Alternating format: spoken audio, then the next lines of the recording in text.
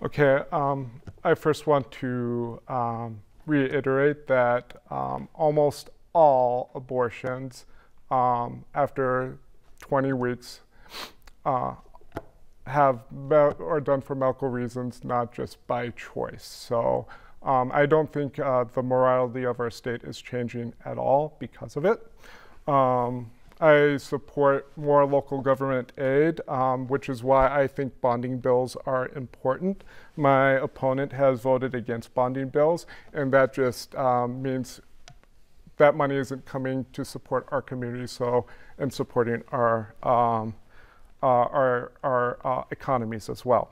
Um, I think we can look at other states to see the results of Republican leadership as well, based on political ideology. Republican controlled states have the highest rates of poverty, the lowest healthcare and education outcomes, and fall short even on crime. At the same time, they have passed re, uh, re laws restricting access to books, reproductive freedom, and gender affirming care, denying us the very things they say they care about most freedom. I don't want this for Minnesota. I believe in strengthening our communities, representing everyone, providing essential services that people need the most.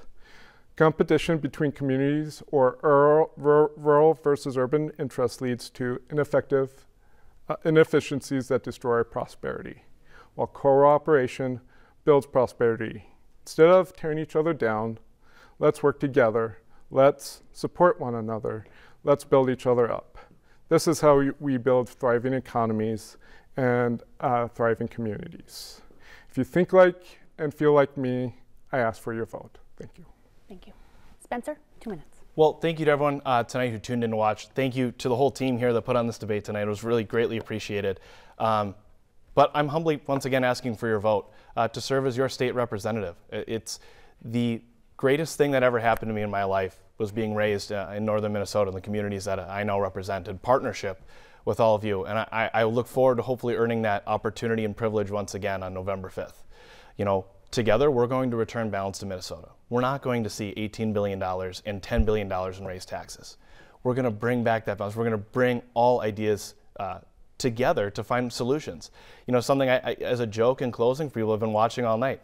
30% of us are Republicans, 30% of us are Democrats, the other 40% vote for Jesse Ventura. And if we remember that when we're talking about Minnesota, Minnesota politics, I think we'd have a state that works better for everyone that's here. You know, I'm your pro-labor, uh, pro uh, uh, law enforcement, pro Second Amendment, pro business endorsed Canada. I've, I've earned multiple endorsements from all those different groups.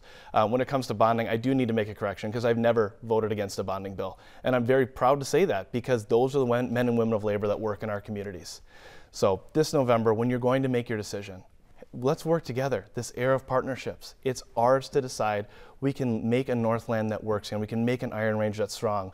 We can build the world of tomorrow with the minerals under our feet. We can create a workforce that's stronger than ever before. We can have vibrant schools and we really can bring our best days to reality. But I'm asking all of you to come work together with me on that. I can't do it alone. And it's by thinking that we can do it alone, um, that's how we're going to fail. So together, let's come together.